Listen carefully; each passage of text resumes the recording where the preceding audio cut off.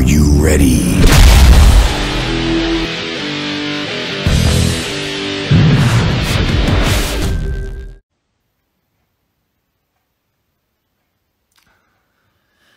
Radio, we have another Instagram live, and we've got one that's going to be quite topical at the moment. I feel this is going to be a pretty good one.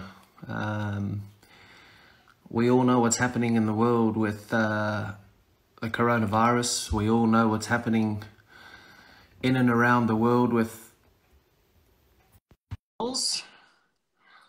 We have an animal guru with us. We have somebody who is just waiting to join, and I think he's going to connect any second now. There he is. Hi, Kev. How are you, buddy? I'm very well. How are you? Very, very good. Very good. What's happening? Not much. Yeah, just uh, autumn's kicking in, so it's getting dark early and cooler at nights, which is welcomed. So yeah, all good. How's how's lockdown on the on the farm or on the in uh, with all the animals?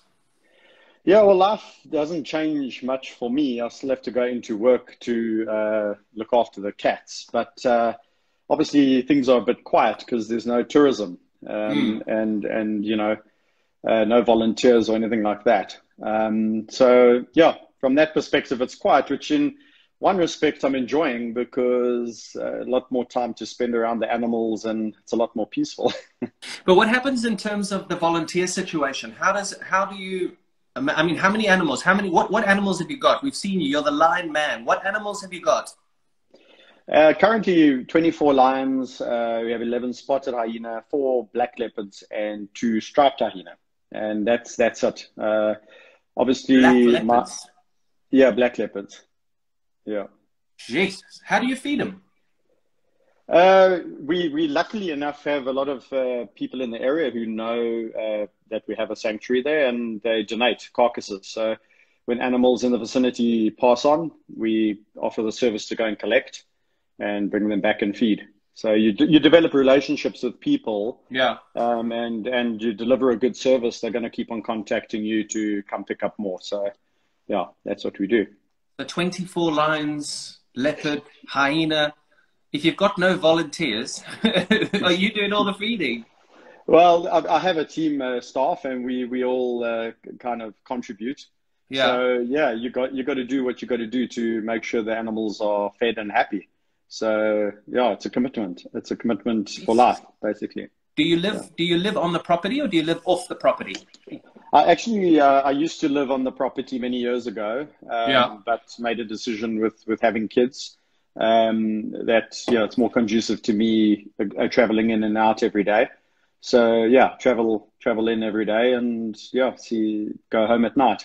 And do you have the animals? Do people live there on, on the in the sanctuary? And, and how big is the sanctuary? I mean, lots of people will be. I mean, this is obviously such a topical uh, conversation, purely from what everybody's been watching on Netflix with Tiger King. How big yeah. is your sanctuary? Is it is it zoo like, or is it, or do the animals have huge, huge plains, African plains to roam?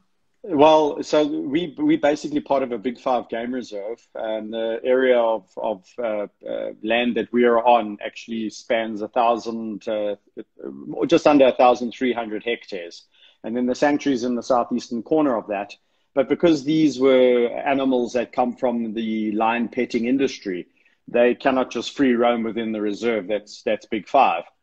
So right. they need to be they need to be contained. That's that uh, is restricted by permits.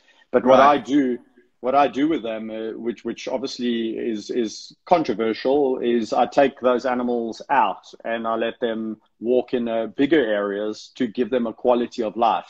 Otherwise, they are simply, in my opinion, just lions in cages. And uh, in many respects, a lot of the the sanctuaries that I know and a lot of the other facilities that I know that these animals are just cats in cages. Um, my mandate is when these animals die, that's it. So a lot of the lions in my care are way over 12, 13 years of age. And so in the, in the years to follow, that number is going to go from 24. In fact, in the last uh, half a year, we've lost three to various age related illnesses, one to leukemia. Um, so these animals are going to go down and down and down. And my um, ideal would be to see none of them in captivity anymore, because I think even mm. from my perspective, even rescuing animals from uh, you know poor conditions and then putting them in cages um, perpetuates lions or tigers or whatever in cages. Uh, so I'd like to personally, I'd like to see an end to all of that period. And um, when when when you work when you've worked so closely with these cats for so long, over two decades now, you start to realize what makes a lion tick, and it's yeah. so much more than just having them in a in a, a, in an enclosure and giving them food and water and thinking that that's okay. You know, yeah. it's it, it's not okay, and I think it's a progression of learning that it's not okay. So it's really great to speak to you because you come from a, I mean, you're a cricketer turned conservationist. Um, I, am sure conservation or animals has always been um, yeah. something high on your agenda. Yeah. But but it's nice to see you um, advocating for the animals now. Uh, your audience um, is a new audience for me. So yeah. it's really good to speak to you because you can reach, uh, you know, different audiences by connecting with people like yourself. And and that's why uh, I, I, suppose I ask you these questions because mm. um, people see Lion Man, they see the dudes in America, they see all these people that um, uh, facilitate caged animals. They hear all the mm. stories about uh, canned lion hunting the lion bone trade. They hear all these hmm. different bits and pieces of information. And I suppose from from my side, it's it's it's the question of captivity. How do these animals feel happy in the space that you've got them in? I mean, I've seen yeah. some beautiful images on social media of late where you've got, oh, we're not happy in isolation, and there's pictures of zoos, how an elephant is kept and how a lion is kept. Yeah. How big does the space need to be, do you think, for these animals to feel happy? Your lions. Yeah. How big does the so, space need to be? So it's all it's all relative, and it's all putting it into perspective. So uh, personally, um, you know, lions that are born in a captive environment, what what they what they need, what needs to be prevented is boredom. So when uh, when when so when humans are confined, what, what what do we hear people saying the most? We say, "Oh, we get bored." Yeah, I, I, liken it to our houses being our is our houses are like a lion uh, enclosure. Let's sure. let's put it that way. Now, if we didn't get out of our enclosures and go out to the shops or out to the the park or yeah. to, to your lodge in South Africa or wherever you go, you you would go batshit crazy um, in in your house permanently. Yeah. Yeah. And this has always been my my uh, belief and feeling as to why my relationships actually um, pave a way for these animals to live a better quality of life. Not saying that it is the way of the future. I'm just saying simply for the animals in my care at this point in time, when they die, they die. I'm not replacing those animals. The do sanctuary they breed, will. Do they breed on your in your sanctuary? Nope, no breeding because if you're breeding, you're perpetuating the problem. Yeah. So many, many years back, I said, uh-uh, this is it. I'll, I will care for you guys. The, uh, my mandate was to care for these specific animals for a specific, and I get a lot of criticism for it saying, oh, you only love your lions. And I'm like, no, no, no, no. It's not, it's not the case that I, it's like I can't, I can't um, advocate welfare for my neighbor's dog and my neighbor's neighbor's dog. And uh, I like dogs, but yeah. I can't be responsible for all dogs. So, yeah the point being is a lot of people shouldn't be keeping dogs as pets or, or cats as pets. Now, when you bring uh, big cats into the equation, it's a whole different ball game. Mm. What I say, to, what I say to people is the following: Imagine a bird. Okay, so you rescue a bird from a bad place. It's been abused, and yeah. now you take us and, and let's take an apex bird, like a bird of prey and we take it and we put it in a an aviary, and it's a it's a better sized aviary than the aviary that the bird potentially came from. Yeah. Which which bird would you rather be? Okay, would you rather be a bird that's put in that aviary, left hands off, you get food, you get water, uh, and you get a few enrichment toys. That's it. Or the bird that's at a sanctuary where the the keeper takes the bird out, lets the bird fly, the bird of prey fly, and it, it, it goes back to that place at night. That's what I do for my lions. I let them go out and have a better quality of life by being able to walk in bigger areas, and then they go back to one and a half, two hectare enclosures. So the enclosures walk, are not. Them, do you walk them like a dog? No, not not like a dog because there's definitely no lead. so no, I know. I mean, look, yeah. out here where we are in the woods, we can take the leads off and the dogs just cruise. Do yes. you, what do you do? Do you just let them go? Yeah, yeah. You let them out into the area and let them walk, and they they they respond. They they they know after a certain period of time they're tired. They actually uh, be, being animals that have lived in captivity for so long, they actually want to go back to their place of safety, which is where they live. Yeah. But when you leave them in that place of, of, of safety for uh, extended periods of time and you don't mix it up, they go crazy. They don't like any other animal. I'm not just talking about lions. I'm talking about any other animal. It's yeah. not a quality of life. If you did that to your dog, your dog would also not have a quality of life. Imagine yeah. you had a dog and you left it in your backyard and you never gave it any stimulation or any interaction. You just left it there. You gave it food and water. That, that's the that's the life of a lot of these animals. So let's so let's just sad. so let's just clear this up from for people that you're you. How did you get involved in this? Because people will be looking and going, "Oh, you've just got you've got wild animals, just let them yeah. go." Why did you get them? How did you get involved in this? And and how did these lions end up in your sanctuary? Yeah, so it's a, that's a really good question. So rewind the clock back to 1998. Yeah, I was a 22, 23 year old uh, young man, uh, had a passion for animals since a young boy. And I had an opportunity to go to a lion park. And it was quite a well known lion park in, in Johannesburg. And, uh, you know, I knew nothing about it, but uh, I went there. And I met two six month old lion cubs. And they'd, they'd come off the the cub petting uh, rounds because they were now too big. They were six months old. And and these just two explain lions, the cub petting. Cub petting for people that go, what is cub petting? How can you just pet a pet a lion? Yeah, exactly. So in South Africa, we have this massive problem uh, where there's over 300 breeding facilities where a, a lot of them uh, all around the country offer cub petting. So you can come for a fee and you can pay a fee to come and interact with a little lion cub between the age of three months and six months. Okay. And get a photo with it and you can do all yeah. of those kind of things.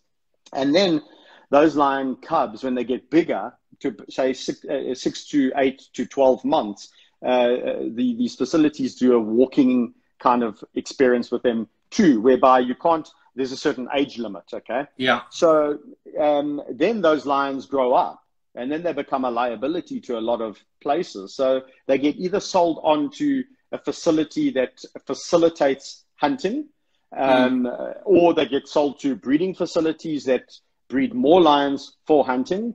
And even now, as, as you well know, there's also this lion bone trade whereby yeah. lions are slaughtered for their bones and it's sold to. Asia. Yeah. So yeah, these, these this facility that I started working at, I fell in love with these two lion cubs and I, I was completely smitten. And as, as you start to mature and as you start to evolve as a young man, and as you and you got to remember, uh, Kevin, back in 1998, social media didn't exist. No. The internet, the internet was in its infancy. Mm. Um, we all didn't really know what this internet was about, and Google and what. And nowadays, yeah. at the touch of a button, you can you can basically get information about anything. Yeah. Um, social media. I would never be having this conversation with you back in 1998 no. because f- firstly you wouldn't have you would have been inaccessible. I would never have ever been able to make contact with Kevin Pietersen. Mm. Um, so so you know social media has definitely uh, enabled us to be able to get these messages out to broader audiences all around the world. Um, so your so your so your Lions that you started off with in 1998, you got a couple of them and you got them from a, um, a lion park who was going to either sell them off to canned hunting, sell them off to um, whoever it is. But you thought, mm. no, I've got a great relationship with these animals. I'm going to bring them up because you no, can't so, release you can't release yeah. animals that have been uh, hand reared into the wild. Is that right? Lions? Well, well, yeah. So, so there's many reasons why. Um, let's go back a bit. I mean, the lions yep. that, that I started working with, um, I started actually working at the facility, and uh, you know, started into started developing relationships with all these animals, and and and then slowly but surely started to um, ask more questions. And then the moment you start to ask more questions, you start to see more things, and you start to enlighten yourself. Back then, it was a slow burn and and what what I uh, quickly began to realize is that I was involved with something that I didn't really um, want to be involved with. However, I had forged bonds with these animals that I didn't want to turn my back on either.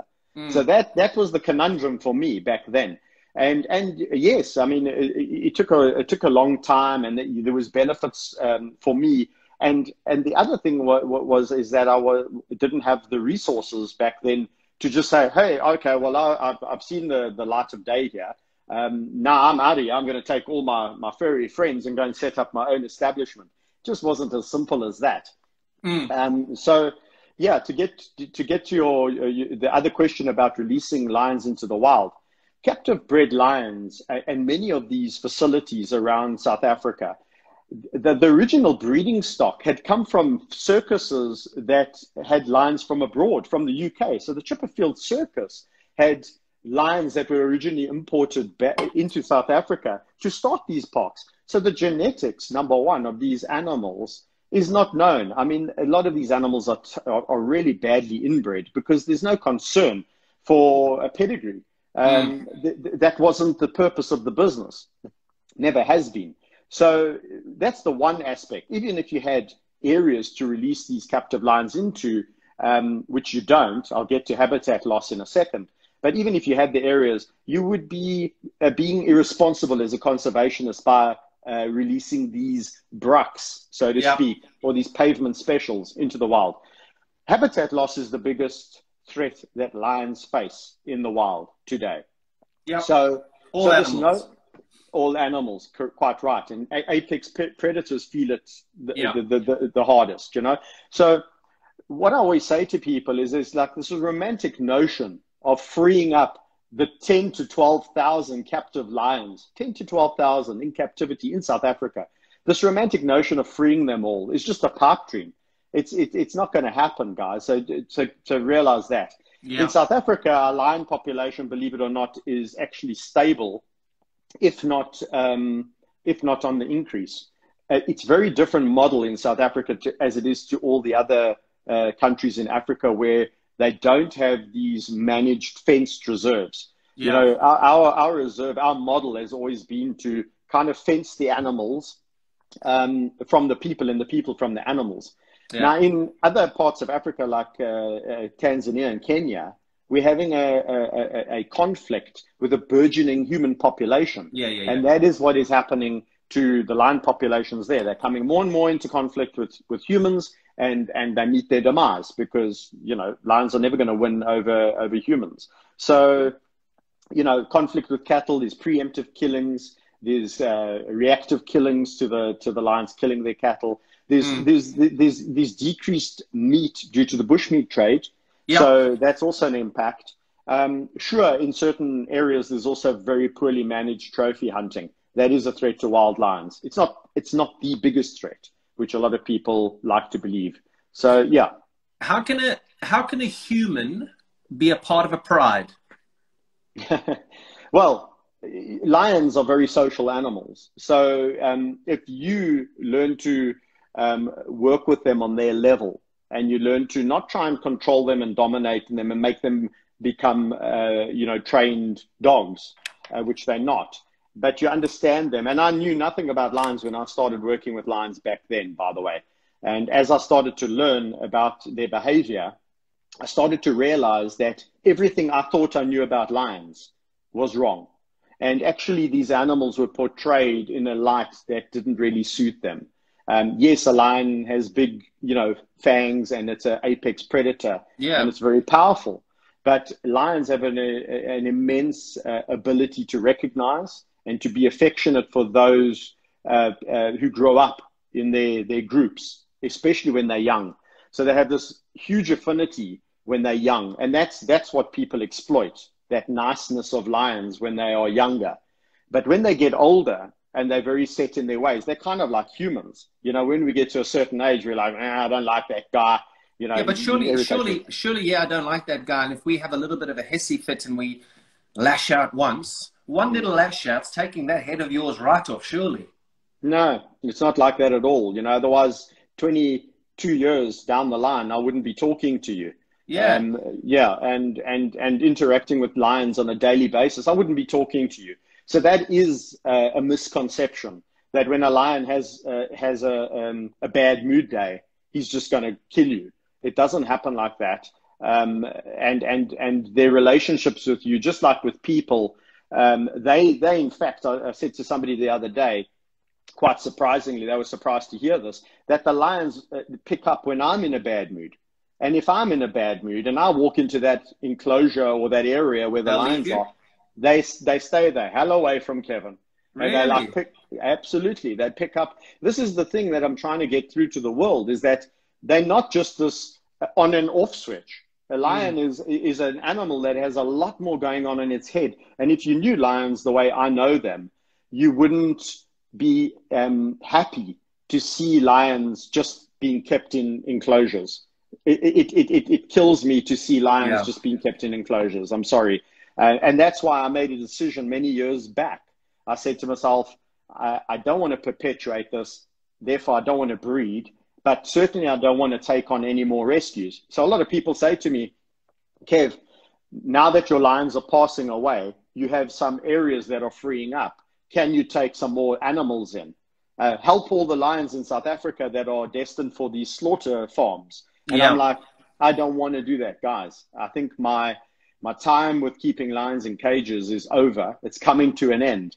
And when I close that chapter, I'll be a happy man. I'll be like you, and I'll go on to something else. You know what what's what's been your what's been your uh, your worst injury? You must have had some. Don't talk shit. Don't sit here and say no lines bitten me, no lines scratched me. You Bullshit. know, the, I'm telling you, Kev, the, the, the, the worst injury I've had from a lion, not from a hyena. Hyenas have put me in hospital many times through bites. Really? Okay, and that yeah, and that requires uh, stitching because hyenas can be their their their ability to give you a warning, or their warning is very quick. So they'll give you a warning, but then if you don't heed that warning very quickly, they will challenge you. So hyenas are extremely smart. Lions will give you a lot of warnings. What's so, a line warning? Tell give me a line warning. Tell everybody what a line warning is. Oh, there's so many. I mean, one of, I mean, you would know from the bush. I mean, if you see a lion crouched down, ears back, tail flicking, don't go in and try and give it a hug. You know, that's not gonna, yeah. that's that's not gonna end well. You know, um, but but in terms of um, lions that you have a personal relationship with, a lion warning would be uh, just that, or just a flare of the lip, or just the eyes doing the, or the ears just flattening. So all these little, really? yeah, just little subtle signs, and you you heed you heed that warning, and you say, "Thank you for the warning." Most of my injuries that have occurred through my relationships with the lions have been accidental. When a lion, say for example, jumps on you because it's so excited to see you, and the claw cuts your lip, or the claw right. cuts your cuts you somewhere. Yeah. It's not malicious. When I was younger um, and learning about lion behavior, I had a, a, few uh, close encounters with lions that I didn't know personally. Yeah. And I thought to myself, oh, okay, I'm the regular Doctor Dolittle of lions, so I'm going to go and befriend all these lions, even big ones yeah. that uh, that that I didn't have a personal relationship with. And I often say to people, it's like your best relationship is with, you know, the people who are closest to you. And that starts with your family, like your kids and your wife. Hopefully. I mean, I think, I think everybody's is being tested at the moment. I think I had that conversation today with somebody who said to me, you know, one of the things that this uh, lockdown will do is it will see which relationships or which marriages are, are, are, strong. At least you got a day out. You can go and spend it with your animals. You lucky bucker. I know. uh, getting to hyenas, you said you've got hyenas, you've got leopards, and you've got lions hyena what's what's the hyena's play because they are the things that i find so inquisitive in the bush yeah. i mean leopards are uh, lion, lions are said to be the biggest scavengers and those little things that fricking run around the bush and claim everything however hyenas are definitely the biggest scavenger well sorry no lions are bigger scavengers correct hyenas sorry correct. sorry yeah. that's right Hyenas well, are said to be the biggest scavengers, yeah, but, but they're, they're, they're, an animal that absolutely fascinates me. They're always, I mean, I watched them the other day on um, on a program and they'll just follow wild dogs and then they'll clean out a wild dog's kill. I mean, they're yeah. just, they're amazing animals. so I did a series um, back in 2015, around about then, on uh, we called it Deadly Predator Challenge, but it was basically putting hyenas against lions in in a set of cognitive challenges. And and you know, I had always known through working with hyenas how smart they were, but this this series completely um, just showed how smart they were. I mean, these animals. Really? Oh my gosh! You, you know, my, one of my biggest um, missions in life, and I know you like hyenas, which is a great thing. Yeah. Um, we're both called Kevin. We're both from South Africa, and we both love hyenas. So that's Yeah. that's, that's three good things. Um, my mission in life, because when I started working with lions, I hated hyenas. I thought that hyenas were just put on this planet to give lions a hard time. Yeah. And I'd watched documentaries that had confirmed that belief. I'd watched and I'd seen The Lion King. And uh, so I was completely convinced that hyenas were the bad guys here. And, and when I started um, a relationship with some hyenas way back when, and I started to see that these animals were so switched on. And, and the more I, I, I, I, I figured how switched on they were, the more I had this thirst to gain more knowledge on hyenas to the point where I'm sitting here talking to you, and I'll tell you that a hyena, in, in some cognitive experiments, in some problem solving experiments where it requires uh, co- cooperation between two individuals, two, two individuals, hyenas outcompete chimpanzees. Really? Really. So a lot of people go, what? They outcompete chimpanzees. So that shows the level of intelligence of these animals. Yeah. So the Clever next time bastards. somebody, the clever bastards. So when people say to me hyenas are scavengers, I'm, I'm like, they're not scavengers. They hunt up to 70% of what they eat, but they are opportunistic, just Yeah. like you or I. Why Yeah. are you going to go and hunt your steak when you can go and buy it in the shops? Yeah. So, so they wait for other animals to do all the hard work in some incidents, like you you you um, said about the wild dogs, and then they go and you know try their luck. They'll try their luck on a lion, they'll try their luck on a leopard, wherever they can try their luck because they're smart. They're, they're masters of intimidation. So Yeah, if they, they can are. Band, yeah, they're band together in these groups and you know, Yeah, yeah, yeah, yeah. and yeah, and and and I love it. I just think Do they meet? Do they meet your lions at all, or do you keep No, them no, no, separate? no. Oh, absolutely. They, they never, they, they, they, there's this, there's this, uh, you know, all predators somehow, unless they grow up together, they have this uh, inherent or primal hate uh, for each other. Yeah. So when you when you drive the the lions past the hyenas, the hyenas go mad and the lions go mad. If you drive a hyena past the leopards, the leopards go mad and the hyenas go mad. So Really? there's this, yeah, they don't like each other. But I have had cases in the past where a lion has grown up with a hyena and a hyena's grown up with lions. Yeah. And they're the best and they're the best of mates because they they they they, they don't know any of those cultural differences, so to speak. And we Yeah. know that with humans too. If you take away the adults and you just put all the children together, they all play nicely. As soon as you put the adults in the room, then all these racial tensions start to come to the fore. Let's get on to uh, the time's flying. Jesus, half an hour, we've smashed this. Um, let's get on to, I think, with something that a lot of people want to know about. It's very topical at the moment the ti- uh, Tiger King. And these guys in America that uh, are taking each other on. One's now serving time, and there's different camps and breeding facilities. And um, when I was shooting a documentary in India about a month ago, they were telling me um, there was a lady, her family, uh, her name is Kriti. She came and she spent some time with us, and her father brought back tigers into India. So he saved the, the, the tiger species in India and brought them back to a to a um, to a number where where it's fairly respectable, but they don't have enough space, so they don't have enough. Uh, they don't have the population that they'd want. Now, I get back to London and I turn on a series that everyone's talking about, Tiger King, and I see these rather eccentric people brandishing animals and talking and carrying on, and you just look at it. And something that she said to me in India, she said, "There's more tigers in America than there are here in India and in Asia." And I was just, I, I said, "Shut up, Kriti." I said, "There's no ways that's possible." You then get back here and I start watching this program and they start talking about this and you start seeing these facilities. Now, I suppose those situations are where fame meets money meets power. And the more money you have, sometimes you feel like you want to be famous. The more famous you have, you are, the more you actually feel I should have money.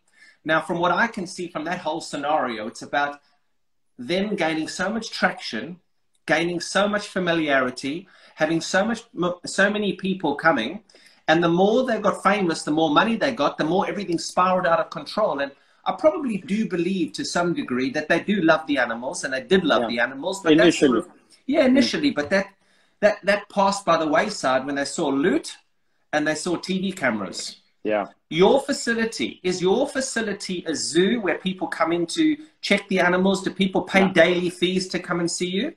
No, because I think that model is is is flawed in the sense that educationally people gain nothing from coming to a facility. I think, uh, my personal opinion, and there's no one really to guide them around and tell them why are these animals here. You know, what what is the history of this animal in this particular area? Etc., etc. So we do three tours a week. Um, it's literally two, three hours on a Tuesday, Thursday, and a Sunday. That's it. Apart from that, the facility is not open to the public. Right. And I think I think what happens with a lot of these facilities, just to touch on with the Tiger King, is exactly what you're talking about. Yeah. The ego, the ego um, overtakes. And and so what initially starts as people saying, "Hey, I really love animals, so it would be cool to get a, a tiger." Um, or it'll be cool to get a lion. Now, it, it starts off with that notion, and and and what happens with a lot of people who have money. You talked about money. People with money say, "Well, everyone's got a dog and everyone's got a cat. I'd love to have something different. Why don't I get yeah. one of these savannah cats?" So they get yeah. a savannah cat. Then a savannah cat is not enough. So a savannah cat is uh, it's not okay. If, there's there's a hundred people with savannah cats. I want something different. So I want a tiger or I want a, a leopard, or I want a lion. I want something, um, you know, that that that's more. Um, well, it shows friend, it's a symbol of wealth oh, and, and, power, and power. Yeah. You know, so so for for me, um, the show. Oh man, I struggled to watch it. To be honest, I um, so my following was what kept on asking me.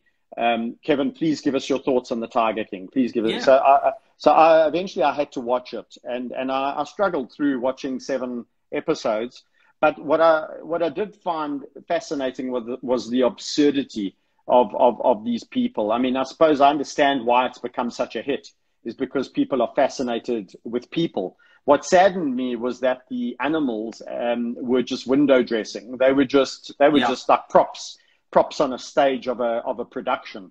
Yeah. And and so where they missed a trick was highlighting the the, the cruelty and the animal abuse that's going on in these facilities in America. And I mean, I don't know what the number is, but they say it's between five and 10,000 tigers. How can it be between five and 10? That's a huge between. you know what I'm saying? Yeah, yeah, yeah. yeah, I mean, it's so, so yeah, it's like in South Africa, they say there's between eight and 12,000 lions in captivity um, from these breeding facilities. And I'm going, well, there, there's 4,000 lions missing somewhere. You know, if, yeah. it's eight, if it's eight or twelve, you know, it's that's yeah. scary. It should be a case of just saying to the authorities how many animals are there because it should all be permitted. But in America, there's four states in America. I, I was absolutely horrified: Wisconsin, Alabama, North Carolina, and one other. I think it's Oklahoma. One one other state. You don't even need a permit to keep an exotic cat, a big cat. Don't need a permit. Yeah, and in the other states, in the other states, which I found uh, fascinating, was the fact that um, even the permit conditions that you needed to keep a tiger weren't even that stringent. So it's no surprise that they have a problem um, mm. of, of, of that amount of tigers in captivity. But the sad reality, and I must emphasize this, is the conditions in which the animals are being kept. Um, yeah. And then this glorification of, of these people um, you know, they they almost yeah. made into these these um, docu I don't know. Uh, like, well, it's a docu series, like and I mean, it is. It's it's disgusting because now this guy's apparently enjoying such a famous lifestyle in prison where he is at the moment for um for for getting up to all the shenanigans that he's yeah. got himself into. Do you need do you need permits? Have you got permits um, for your animals? Is that how it is? What's the what is the difference between um, America, where those guys have got tigers, and you and your lions? Yeah, so South Africa is quite um, strict in what we call threatened or protected species. And the threatened or protected species uh, line would fall into that. So there's, there's, there is stringent permitting. However, it differs uh, from province to province. So the province that I'm in is actually quite stringent and quite good. But then there's other provinces where these guys are getting away with murder, so to speak. And that's the problem in South Africa, is that there's no um, there's no uniformity between the, the national norms and regulations. Um, so um, I think, yeah, South Africa needs to really tighten up on, on, on how these animals are kept too. We, we, we are not, in many respects, too different to what you saw on Tiger King, in Netflix. Uh, it, it, it is a horror show in some of the places. Really? So there, yeah. so there are places in South Africa that are exploiting their animals and just making just money, money, money. It's just a vicious cycle of money. Oh yes. So that is one thing that I've been speaking quite loudly against for many, many years. And and and having this opportunity again uh, to speak to you and your audience is wonderful because we could yet again highlight the problem with coming to South Africa and going to a facility where you can interact with a, a, a lion cub. Um, in South Africa, uh, get this, actually, you don't need a permit to keep what we call exotic big cats like tiger. So you don't need a permit. You need a permit to keep a lion. You don't need a permit to keep a tiger. You need a permit to move a tiger, not to keep a tiger. So what a lot of these people, so what a lot of these people do is they say, I woke up in the morning and there was a tiger dropped on my doorstep in a box. What was I to do? I, I kept it. And here it is in my back garden. Yeah, yeah, because that often happens, doesn't it? I mean, regularly we get tigers dropped off here. and and that you would be surprised, Kevin. I mean, you know South Africa, but in Johannesburg, in Bryanston, in Bryanston, there are tigers being kept illegally, okay, or legally, whichever way you want to look at it, Shut in up. people's in people's back gardens. Shut yeah. up. In people's back gardens, yeah. We just had about two tigers. weeks ago tigers. We had a tiger on the loose in Benoni in South Africa, in Benoni. You could believe it, it's Benoni. No, no, listen, I was going to say there's, been there's, there's plenty of tigers running around Benoni every day. Yeah. yeah. So anyway, but but this is the uh, uh, jokes aside. This is the serious problem with, and I know you are quite friendly with Lord Ashcroft, and I believe you you Yeah. you interviewed him the other day. But uh, you know he did this expose Yeah. in South Africa, Yeah. um, and he he was exposing the tiger slaughterhouse, uh, not tiger, the lion the lion slaughterhouses, slaughterhouses. correct for their bones uh, to Yeah. be sent to, to to the far east. Yeah. Um, and and he exposed a, a particular farm called Vakabiki in the Free State. Now, in the Mm. Free State, it's one of the the places that's notorious for for breeding um, lion and and other animals. Why doesn't for- the for- government in. South Africa do something about it? Because I tweeted um, your health minister today. I, I forget his name, Zweli somebody. In yeah. Yeah, Zweli Mkhize. And uh, he yeah. said he said he tweeted something the other day about um, the fact that we know where the coronavirus has come from. So, Yeah. well, you know where the coronavirus has come from? It's wet markets. Yes, wet markets, but pangolins. Where those pangolins coming from? How many pangolins are left in the wild in Africa? What's happening to the rhino in Africa? What's happening, like Lord Ashcroft is unraveling, with the lion bone trade? Why doesn't the South African government do something about the illegal wildlife trade? Because I know exactly what they do. They do fuck all. Compared to what they're supposed to do, they do nothing. no. Well, the put. rhino is getting cleaned out. Yeah. The lions, there's lion farms everywhere, and uh, I think uh, Lord Ashcroft is bringing something out very, very soon, which is going to be very damaging for a lot of those places. Yeah. And it's, it's, it's. I mean, you've got ministers and government talking about it. Why don't they do something about it? Okay, so I, I, I, completely hear you and I completely agree with you because there's two ways, uh, uh, there's two schools of thought. Um, one of the schools of thought is that we tell uh, the tourist who comes to South Africa don't participate in uh, going to these petting f- facilities, and Sure. therefore, if they didn't do that, I, I find that a difficult one because um, the people that come and get educated, uh, the repeat of these people back to these countries, the world is such a big place. There's people always coming in through our borders, and there's Yeah. these brochures that you handed at the airport saying, "Come to our facility. We love our lions. Look, we pledge this, we pledge that." So that is a. I've seen this for for for over a decade. People saying. You know, let's educate the, the public. Let, I agree. Let's continue to educate the public, but I don't think that's going to be the silver bullet legislation change is the only thing that's going to stop this from happening. Absolutely. But your question, your question is why doesn't legislation change? Because there's no appetite for it to change. Because inherently they don't see anything wrong with exploiting the animals for monetary gain. That that I'll tell you, uh, my belief is why it hasn't changed. Because we can see when the government wants to do something, as in lock down the country due to coronavirus, it's done like that with a swipe of a wand. The country's locked down in three days. So if there was an appetite to stop the lion bone trade, to stop canned hunting, to stop cub, cub petting and, and irresponsible breeding of these predators, it would have been done two decades ago. Um, it, it hasn't happened because I don't think there's this appetite to change that. I think what, what the government perhaps sees is that it, it, it, it um, encourages tourism, it encourages it, it, it it's um, supporting maybe, the, jobs. Maybe, maybe maybe the government's making loot out of it.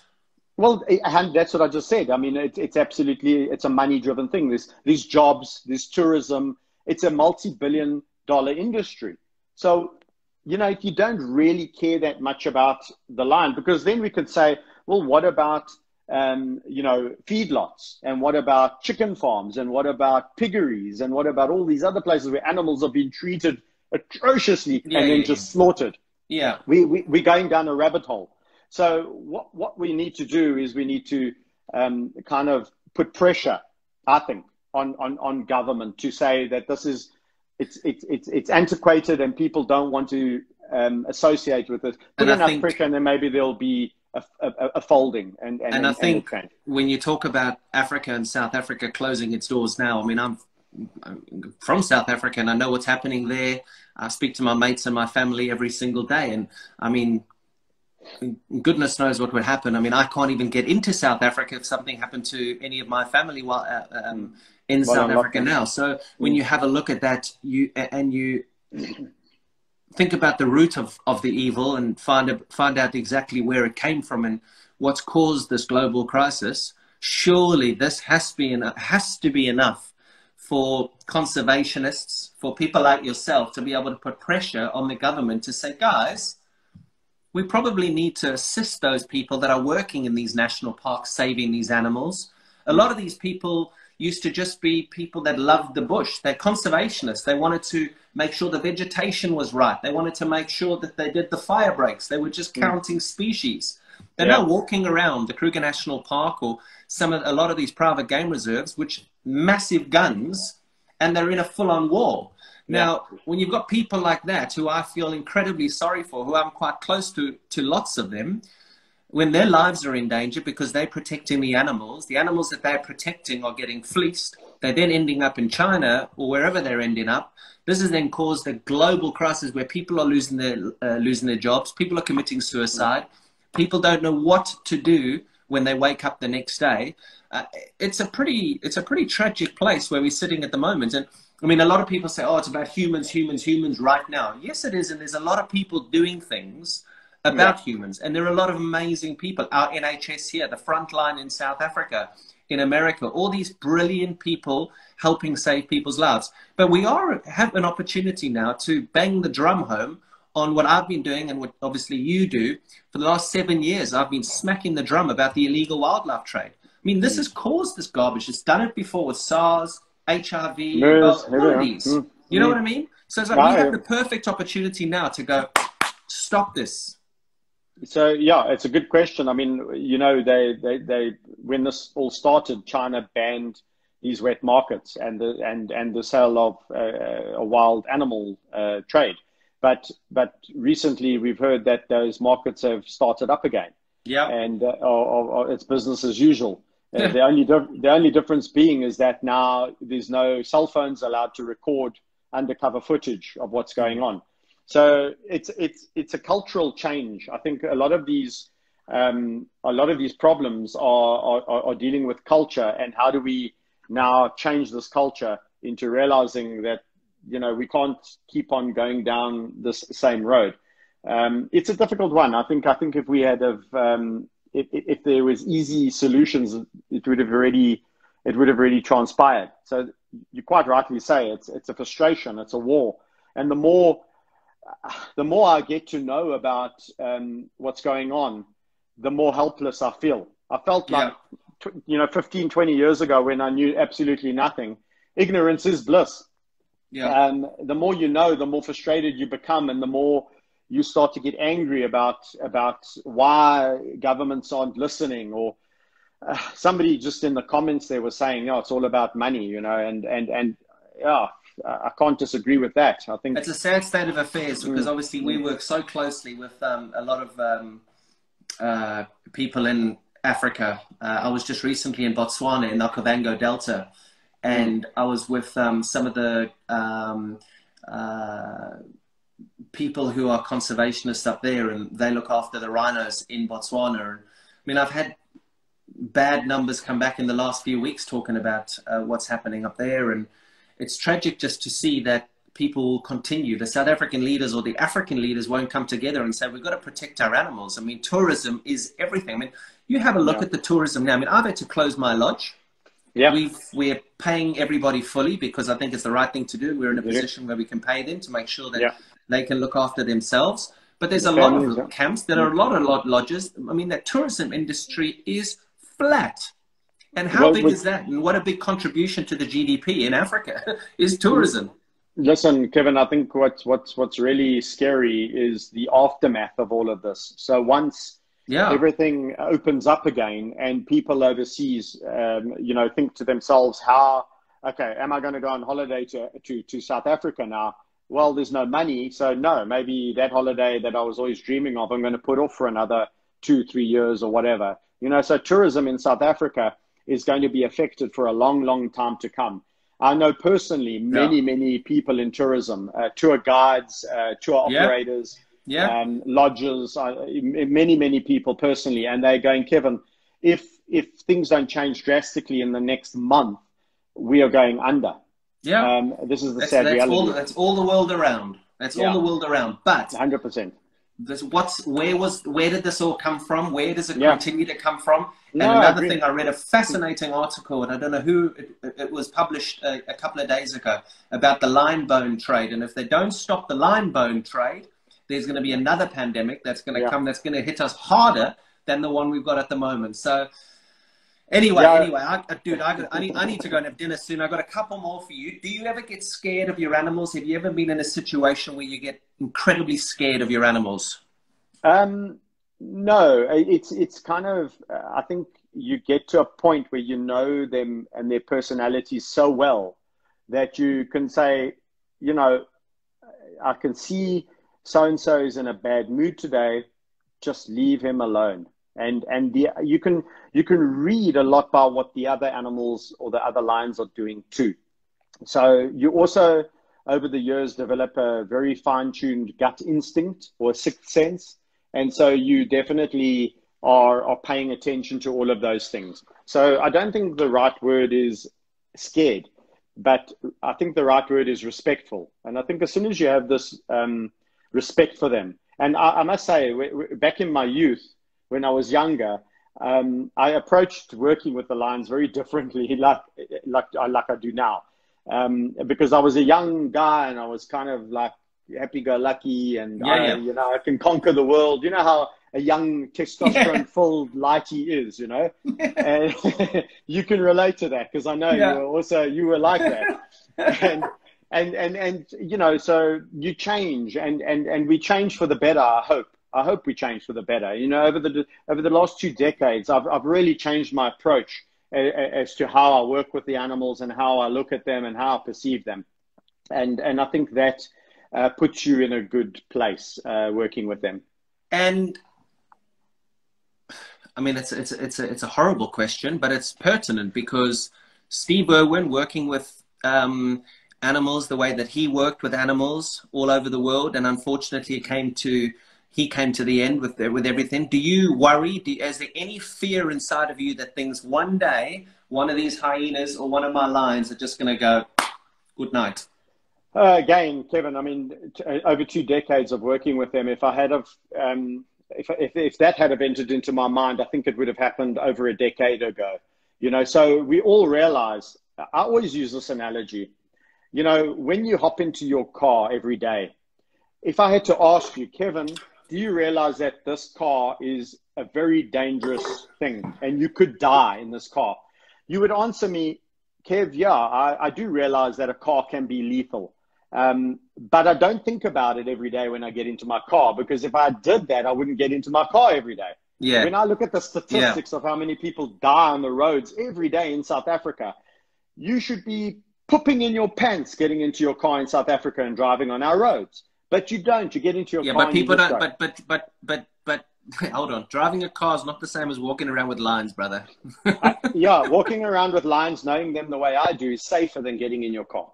Maybe, maybe, yeah, maybe. And and, and you know what? Uh, uh, the other thing, I laughed at somebody the other day. I was saying, you know, and all of you guys were saying that lions were were were, were, were so dangerous, but actually, it's people. I'm scared of people now. You know, I don't want to contract coronavirus. I'm, I'm like terrified of people.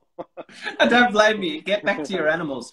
Yeah. Um, I suppose the final thing that we're going to leave, leave this on is um, it has been a chat about captive animals, captivity, the way that you've got into it, the way that you've uh, progressed over the last couple of years. And uh, I mean, 22 years now you've been doing this. Yeah. Um, I think it's important for people to know that you're not breeding animals yeah. and that when your last animal leaves you, that'll be the time that you close up your gates and say, you did something for the animals that you rescued. Yeah, correct. I mean, that is a good, a good place to leave it. Um, the, the sanctuary, people ask me, well, what would happen to all those expensive areas that have been built? And I've been in conversation with many wildlife vets and rehabilitation places that w- would see a need to to utilize those facilities only for animals that would come in there temporarily to be released back to the wild. So the condition right. of an animal entering into that enclosure would be that it is rehabilitated and released. If it's an animal that cannot be released, I wouldn't want them at my place. That's that's that's the mandate.